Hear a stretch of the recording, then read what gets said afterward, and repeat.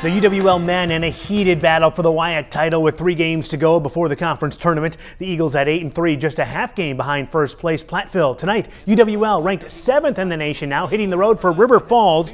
And the Eagles down early, but they get it going. Ethan Anderson right down Main Street for a two fisted rim rattler. UWL on top. Then Anderson showing off his versatility, dials one up from long distance. 21 15, UWL out in front. Then watch the ball movement here. They swing it around. Torin Hanna open for three. UWL led by 16 at the half. But the Falcons take flight and they make a run in the second half. Noah Hansen down the lane and one. River Falls is within four, 53-49. UWL would reel this one back in though. Henry Noon from NBA range. Three ball for Noon. He had 17 points on the night. And every time the Eagles needed a big bucket, they went to Anderson and the senior from Black River Falls delivered. He made 7 of 10 shots, 10 free throws. He finished with 25 points. UWL finishes off River Falls 80 to 72. They're 9 and 3 in the WIAC, and with Platteville losing to Whitewater, UWL now takes over first place in the conference.